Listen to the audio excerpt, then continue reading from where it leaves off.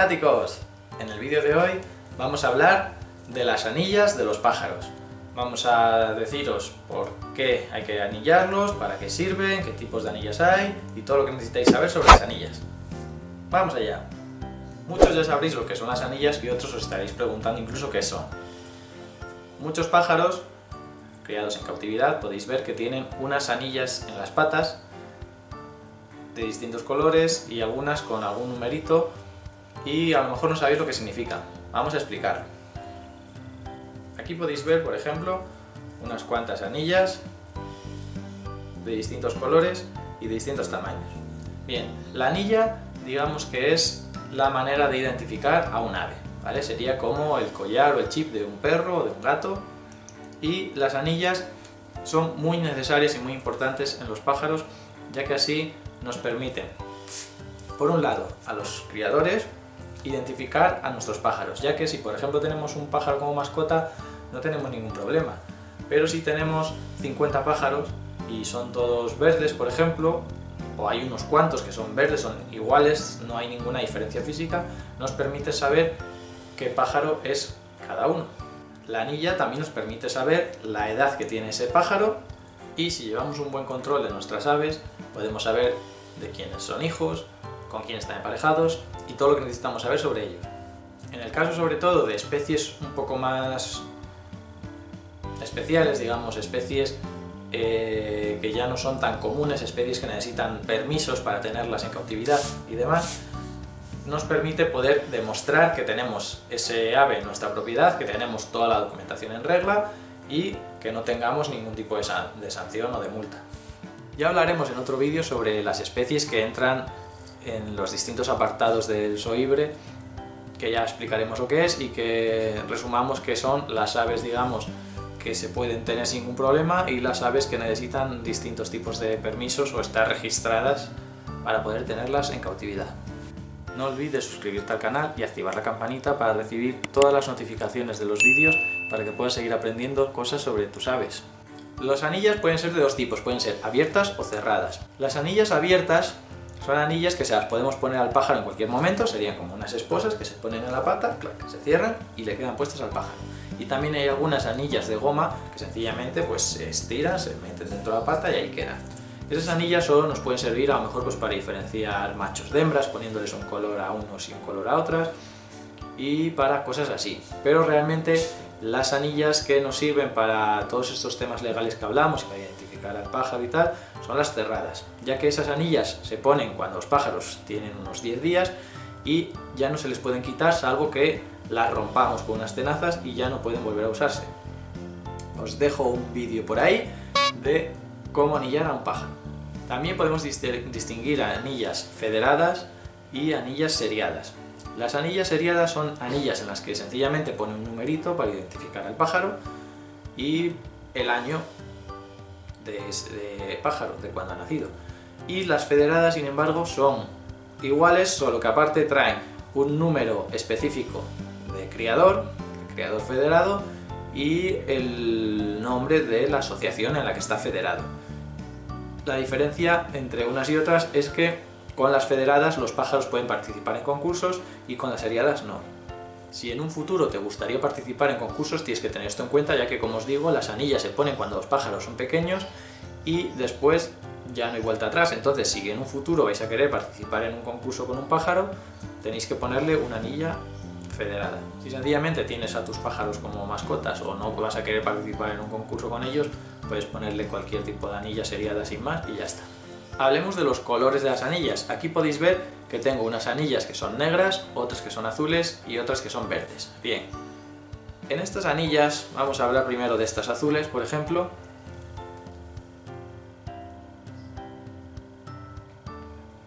En estas anillas viene el número en cada una, por ejemplo 1215, ese sería el número para identificar al pájaro. Viene el 17, que son del año 2017, y pone AECA, que es la asociación en la que yo estaba registrado como criador, y la medida 4,5, que es la medida de las anillas que se utilizan para pájaros como los agapornis, por ejemplo, en este caso. El color es el azul. Os dejo por ahí una tabla en la que podéis ver los distintos colores de las anillas, ya que cada año tiene un color y luego vuelven a repetirse en ese ciclo. No se debe anillar nunca un pájaro con anillas de otro año. Si por ejemplo sobran, como estas anillas que a mí me sobraron, pues ya no las podéis utilizar o por ejemplo podréis volver a utilizarlas cuando volviese a tocar las anillas de este color si no tuvieran el año puesto. En estas por ejemplo viene el año 17. Aquí por ejemplo tengo otras anillas que ya no pertenecen a ninguna asociación, son de color negro y en esta sencillamente viene el número del pájaro, por ejemplo el 100 y la medida 4,5 y el año 19 porque son del 2019. El problema cuando eres criador en una asociación es que a lo mejor necesitas pedir un pedido mínimo de anillas, entonces solo te interesa si tienes bastantes pájaros porque tienes que pedir un mínimo, a mí me sobraron este año muchas ya que no criaron muy bien ese año. En este año ya los agapornis fueron criándome mejor, como podéis ver, me sobraron pocas. Y las de este año son las verdes y ahí viene el número, por ejemplo el 039, el 4,5 y el 20. También viene ES de España, ya que son de España, aunque eso no tiene mayor importancia, pero también nos puede servir para identificar de dónde viene ese pájaro.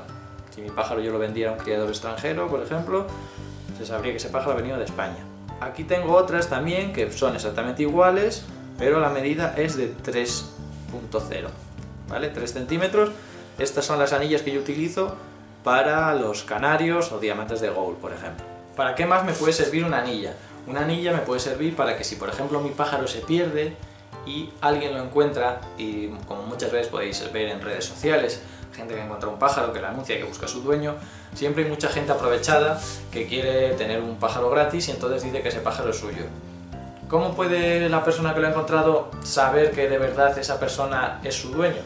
Pues algo tan sencillo como preguntarle por su número de anilla. Si tú tienes un pájaro anillado, lo suyo es que tú te sepas su número de anillo, que lo tengas anotado, y entonces tú sabes que, como ya tienes identificado ese pájaro, se te ha perdido un pájaro en cuya anilla de color verde con el número 036 se te ha perdido y esa otra persona te puede decir que efectivamente ese es tu pájaro y sabes sin lugar a dudas que eres su dueño. Esa es la única manera fiable de saberlo, ya que te pueden decir sí, que es de color verde, que tiene una pata, un no sé cómo. Al final, aunque sea por suerte, pueden acertar con ciertas características del pájaro, ya que son todo, todos los pájaros son muy similares, no suelen tener como por ejemplo un perro que puedas decir tiene una mancha justo en el ojo de, con una forma de corazón o tiene algún rasgo característico que lo diferencia de otro perro de su raza. En el caso de los pájaros prácticamente son iguales, salvo que sean distintas mutaciones de color, pero todos los azules son iguales, los verdes son iguales, entonces no hay mejor manera para saber que de verdad esa persona es su dueño que sabiéndose los datos de la anilla. Las anillas también nos sirven en caso de criar pájaros y luego querer venderlos para transmitir seguridad, ¿vale? Ya que si tú eres un criador que tiene a tus pájaros anillados, los tienes controlados, llevas un control de ellos, eh, generas más confianza hacia una persona que no te conoce de nada y que contacta contigo por primera vez para adquirir pájaros, pues tú como criador, al tenerlos anillados, sabe que por lo menos tú eres una persona que va a tener cierto control con los pájaros, si a ti te piden un pájaro en concreto que tiene la anilla 037, en el momento en el que se lo des va a poder comprobar que efectivamente ese es el pájaro que tú le has ofrecido y el pájaro que él quiere y que no le has enseñado fotos de un pájaro y luego le has mandado otro, por ejemplo. Como veis, todos los motivos para tener una anilla son importantes y son buenos y realmente no hay nada contraproducente en que los pájaros lleven anilla. La única pega que le puede sacar mucha gente es que a veces los padres, según qué especie de pájaro, cuando le ven la anilla puesta al polluelo intentan quitársela y por ejemplo en el caso de los canarios muchas veces al tirar de la anilla pues como no son capaces de sacársela al final lo que hacen es tirar al pollito fuera del nido. Hay maneras de evitar esto bien acostumbrando a las aves a las anillas, poniendo alguna anilla suelta en el nido antes de que nazcan los pollos, para que se acostumbren y no la saquen, y otras cosas que lo podremos ver en otro vídeo. Pero es veo más importante el acostumbrar a los pájaros a que sus polluelos lleven anillas que no el no anillarlos por este motivo. Quiero recalcaros la importancia de anillar a los pájaros, ya que el hecho de tenerlos identificados nos sirve para muchas cosas, para saber cuando sexamos a un pájaro a qué pájaro corresponde cada resultado, para saber distinguir los pájaros que tenemos en el aviario, para encontrar un pájaro que se ha perdido, para registrarlo en documentación, para un montón de cosas. A veces pasa que un polluelo se quita la anilla, se la quitan los padres, o que mm, se nos ha pasado, el pájaro ha crecido y no se la hemos puesto a tiempo y ya no le entra en la pata. Entonces hay veces que sin querer mm, tenemos un pájaro que no está anillado. Pues en este caso sencillamente si es un pájaro que se puede tener sin ningún problema registrado, pues tenemos que tener más cuidado en ese aspecto de que no se pierde y demás y siempre para identificarlo podemos ponerle, como os decía, una anilla abierta o una anilla de goma algo que nos sirva a nosotros para saber que ese pájaro que tiene esa anilla es ese pájaro y distinguirlo de otro pájaro. Pero luego, en temas de documentación y demás, ya habría que ponerles un chip o algún otro sistema para poder registrarlos. Ya os digo que esto ya depende de especies, ya no estamos hablando de lo mismo de una ninfa que de un periquito, que de un yaco o de un eclectus. Si os interesa este tema y queréis saber más cosas sobre las anillas de los pájaros o tenéis alguna duda en concreto, podéis dejarme en los comentarios y podríamos extender esta información en próximos vídeos. Eso sí, no olvidéis suscribiros al canal, darle a la campanita y dejar un like a este vídeo.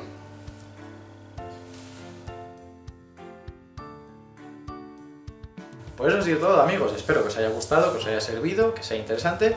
Si es así, dejármelo en los comentarios y dejar un like en este vídeo. Que tengáis un buen día. Un saludo. Muchas gracias por ver este vídeo. Si te ha gustado, dale al botón de suscribirte para ayudarnos a seguir creciendo. Y también puedes, si quieres, ver este otro vídeo que hice YouTube, que es el que más te va a gustar. Así que venga. Dale rápido, venga. Dale, dale, dale rápido, rápido.